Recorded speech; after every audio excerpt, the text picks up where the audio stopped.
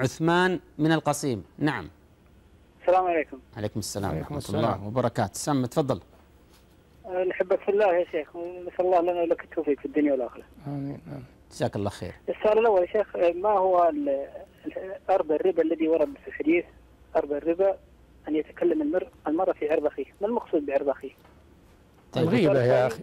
الغيبة الغيبة. المراد بعرض أخيه أن يغتابه. نعم.